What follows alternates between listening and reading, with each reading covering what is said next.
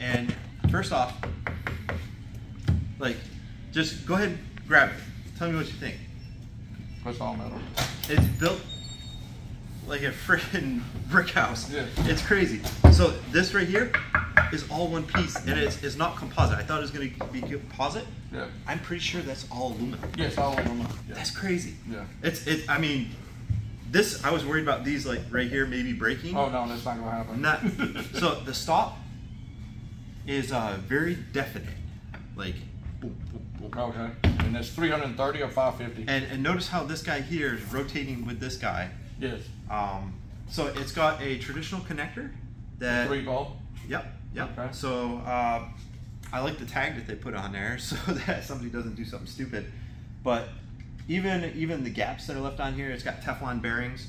Oh, it's got the Teflon on it. Yeah, yeah. What what is this rotation? Is that 330 or 550? Did it rotate it to see how far it goes around? Yeah, it's 550, 540. It, Yeah, go, it goes quite a bit. yeah quite a bit. Okay. So, and then let's lay it down like yeah, this. that thing is heavy. So, yeah, take a look at this. So first off, those look like light sensors. You see that? Those Yes. those are light field sensors. they are. And okay, so there's And, and so let me explain that technology. So what happens is is as you and we'll see this once we fire it up. When you lean into the light, um, this Ah, decreases yeah, yeah. and it increases in the other So area. it's- it's shadow. Yeah, Shadow shadow, control. Okay. Exactly. So the only thing that I'm iffy about is this handle. Out of this whole entire thing, this is would be your sterile handle. Right. This appears to be the weak link. So you can see it's got an index pin Mhm. that goes through there, and it's in a gap. Maybe that's okay, but you see that tiny little pin in there, that one that's off to the side. Yeah, does it break or not? is what locks it in and kind of interfaces. I think. Now, what, what normally happens is, is if I'm not mistaken, Go ahead, slap it on. Try it out. Super easy. yeah. I, it. I don't know. So This the question of durability. Yeah, this feels like maybe it's not as durable, but then again, you feel the actuation. It's much more positive than on many and other it's devices. doing some type of adjustment here. Many many other lights like this right here doesn't give you that tactile Right, response. exactly. So Here, here, come on in and take a look at this. So um, this the this guy right here, there's actually a level of resistance. When you got gloves on and stuff, you need that, like, because you know some of them So just kind of flop around. feel, yeah, exactly. And you can stop it at the exact point. Yep. Um, and then the other thing, question to me is that when you want to go into the uh, sterile handle, if you remove this, because this is something that is probably autoclavable. It's right here. I, I also thought that that was going to be a release, Release, like quick yeah. release. It's got the same type of Okay, uh, like push the button. old styles. Okay, yeah. So that means those. that this is a function. right. So that is a manual focus. Yeah. So that would be interesting once we get it all So connected. you've to got see. this focus or whatever this does, and then there's also some other function for this guy. Yeah. I don't really know. I'm, I'm, I'm so curious. Um, The other thing too is the question is is when you do release this, if you put on a traditional sterilized handle or, Yep. or disposable, how does that interact? I don't know. That- that's I'm- gonna be I'm a good curious. question, yeah. So this is obviously a camera uh, mount right here. So this is not the camera version because this is going Right. to be on a portable. But um, so each of these light pods here articulates on its own axis, and then you have the central ones, which a lot of these lights might have um, a laparoscopy mode, Right. You know, which is a dimmed. Right, so I'm, the I'm- for the room, yeah. I'm really kind of curious about the light field. So we're gonna go ahead and we're gonna uh, pull out the base. This is just the light head and the first impression. First off, look at, it's not flopping around. Like It's very sturdy. it's yeah. extremely sturdy, and I would venture to say overbuilt. These are recessed. Normally, some of them, um, the acrylic head is exposed a little bit and it cracks. These are all recessed. It's got this bump guard around the edge. See that? This thing is built oh, yes, incredibly, well built. Yes. incredibly well. The handle's the only part that's questionable, and we'll take a look at that Get in just a moment. that, exactly. So, all right, guys, we're gonna unbox and then we're gonna uh, carry on. Okay, guys, this is the assembled Dr. Mach light system. Now, it's interesting because the Dr. Mach, uh, it's a German brand, and you guys know Heraeus and Dr. Mach and Heraeus. They used to work together, and then they split off two different companies. The technology is extremely similar. The spring arm is extremely similar. Everything, the commutators, the way that the light head connects, all of it is extremely similar. However, this light's got some cool features, all right? So not only is it built really well, you can see its rotation goes like what, 500 and some degrees. Look at that. That's a lot.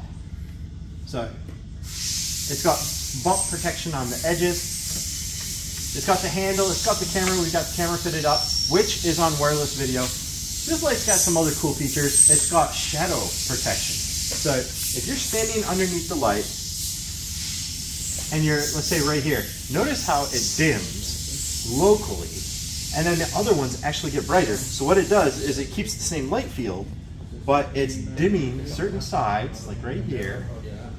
At that. So it doesn't create a shadow. So if I'm looking over a surgical field and the light is coming down over my head, that would be a shadow. So what it does, it dims that light, brightens the other one, and it prevents there from being a shadow, which is very cool. Like look at even right here with my hand. There should be a, a giant shadow on the ground. Yeah. You can kind of see it when I move my hand, but the light is kind of responsive. So that's the little little light sensors that are on each and every one of the pods. Now I was wrong. I thought that the pods would move and that they're mobile and they articulate like in the trunk lights, but these ones do not. These are stationary. And the handle, I was kind of right, kind of not right about its functionality. I thought that when you rotate it, it was going to rotate the pods and that was going to create your light field. That is not it at all. The light field is calibrated from the factory and when you dim and brighten it, it's changing which LEDs in the pod are active, which is really kind of cool. Mobile parts inside a light head equal parts that are going to break. So non-mobile parts and electronic controls is probably going to be a pretty reliable product. So take a look at that. So maximum brightness, I'm leaning over it. There's almost no shadow. That's so cool. And it does, look at that, it dims the ones that it senses. So notice I've got the camera on there. I do know that this little guy up here, it has a, another function. The function is when you rotate it, it changes the color temperature. Now, it's kind of annoying. It should be on like a, a couple second timer. So that you hold it, one second, changes light frequency, one second light frequency, but that's not how it works on this one. You have to flick it like that. Flicking something that's round is extremely annoying. I wish there was like a thumb like a thumb paddle so I could just hit it or even a button. Oh, God forbid we have buttons anymore. But, you know, you have to flick, flick, flick. There you go. Ah, that's, that's, that's, that's kind of annoying, but I do like the fact that I can change the brightness and the light field and the color temperature from one control, one sterile handle.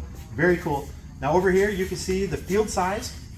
So I can make the field size larger, smaller, light intensity, so the lights that are active, you can increase and decrease the brightness, the color temperature. There's five different settings, almost up to 5K, and it goes down to 3750K. So that gives you a yellow light and then a semi-bright, bright light.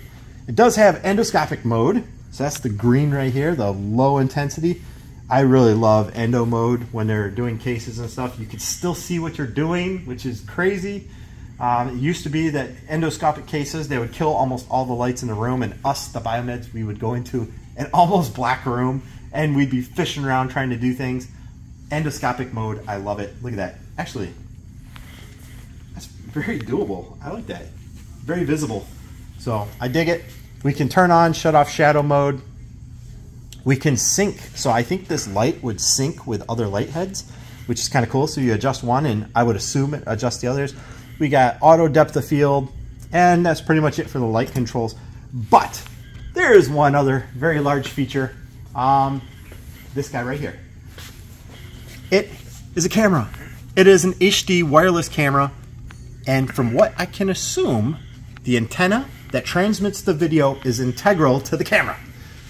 And look over here. There it is across the room, high definition, wireless video it doesn't even have to be line of sight like some video uh, monitors have to be, where the antennas have to be perfectly aligned. These ones, because it is a round camera, I can move the light head around and the, the picture is not affected. Very interesting. It's got like an omnidirectional camera inside it. Ah, damn, that is so bright. but anyway, that is a cool light. It's, it's a cool mm. light built very sturdy. Now the only thing that I take a little bit of conflict with is the interactive handle. Some of its design features, it feels really good. but I, I think the color temperature, you're, you're not going to be changing the color temperature that often anyway. You're just going to be grabbing right here. But other than that, this light seems to be pretty on point when it comes to build quality. Uses extruded aluminum.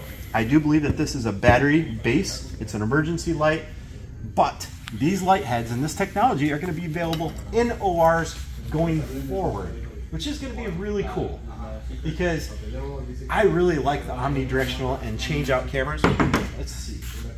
Let's do this. There we go. I shut it off. I can take two buttons, change out the camera. Look at that. So cool. And like I said before, the camera is actually built really well. Easy to change out. At that. Snaps back in. Let's turn it back on. And we are back in the business. I guess the only other thing I'm going to share with you is it does have an infrared remote that controls it. So if you have a physician's assistant or somebody and they're helping you out in the room, you can change your video features. You can rotate the video. It's digital zoom. It's got optical zoom, I think up to 30x, 30x optical zoom. That means like I could pinpoint like tip of my fingernail. That is really cool. Um, it's got focus, it's got brightness adjustment. Uh, I believe it's got white balance. And the remote is actually built really well. It's got a, a semi skid-proof boot. I wish the boot covered the whole thing, but you know, it's it's already built better than most remotes. The only thing I have a qualm with is that it has infrared. I really wish it's it's a wireless system. I wish that it used Bluetooth instead of infrared because this has to be in direct line of sight to the video system in order to make the changes. Whereas the other ones you could mount anywhere. They say mount it right here and you could make your adjustments. The remote has no hanger, it has no clip, it has nothing to hold it anywhere. So the remote is likely to get placed on a flat surface someplace and forgotten. That's the only real qualm. I wish there was a method of hanging it, maybe on the light. Uh, but other than that, it just is what it is. The remote is built very well. The light is built extremely well. And from what I can tell, there might be a bright, bright future for Dr. Mach in the US market. Thanks for watching, guys.